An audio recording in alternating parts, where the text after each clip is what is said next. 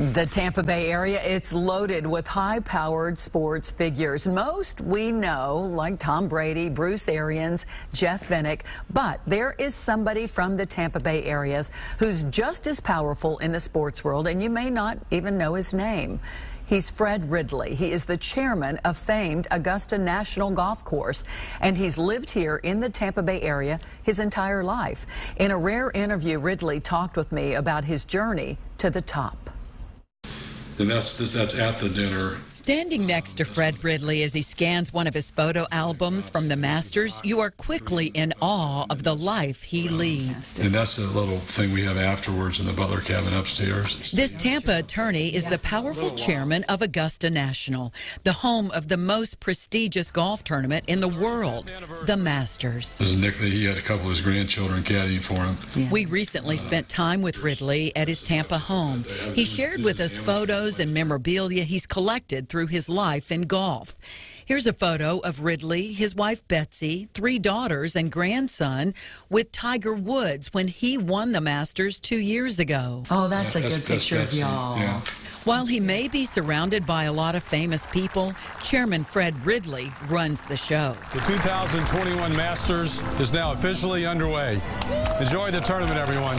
Ridley's love of golf began as a young boy, a long way from Augusta, on a public course in Polk County. Both of my parents were school teachers uh, in the public school system. My dad was a weekend public course player and took me out when I was about 10 years old. His mom kept detailed scrapbooks of his success on the courses of Winter Haven and Lakeland as he was growing up. He went on to play golf at the University of Florida. Soon after, set his career in motion by winning the U.S. Amateur Golf Tournament.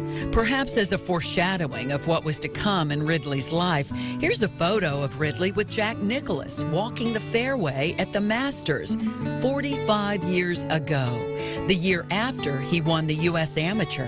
And to have the opportunity to, to walk the grounds of Augusta National the, during the Masters tournament playing in the Masters tournament with him was something that you know every young boy who played golf would always dream of. So it was it was a great day. But unlike everyone else who has won the U.S. Amateur, Ridley decided not to turn pro and focus on law school instead. I really wanted to finish school. I wanted to have my law degree, and then sort of assess what might be after that. But the game of golf, the tradition, the grace, and honor was in Ridley's blood, and the sport eventually found its way back into his life. In 1987, I got a call from the USGA unexpectedly asking me to captain the 1987 Walker Cup team. That led to a position on the USGA Executive Board and ultimately to what many consider the most powerful position in the world of golf chairman of Augusta National. You know, I've been very fortunate. Golf's been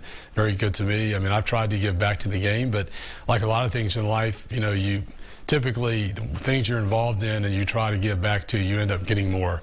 And that's certainly been the case with me in the game of golf. While he may have tremendous power as chairman of Augusta, his friends say Ridley's gentlemanly nature has never changed in all these years. Uh, you know, I try to put golf, you know, in perspective. I mean, it's, you know, after all, it is just a game.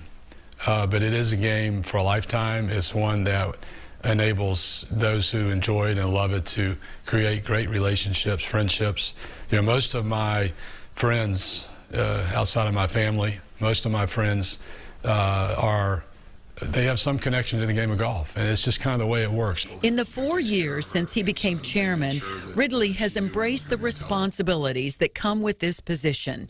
He says he owes it to the game that has given him so much. I met my wife Betsy through a friend on the Florida golf team, and uh, you know all of our three girls love the game. So it's, it's not only been a big part of my life, but it's been a big part of our family life. Not bad for a small town boy from Polk County who will never forget where he came from. I wake up every day pinching myself. Uh, you know, you know this young boy from Polk County, Florida, that uh, you know ends up in this uh, environment is is really something that I have to shake my head sometimes, you know, just to make sure that it's real.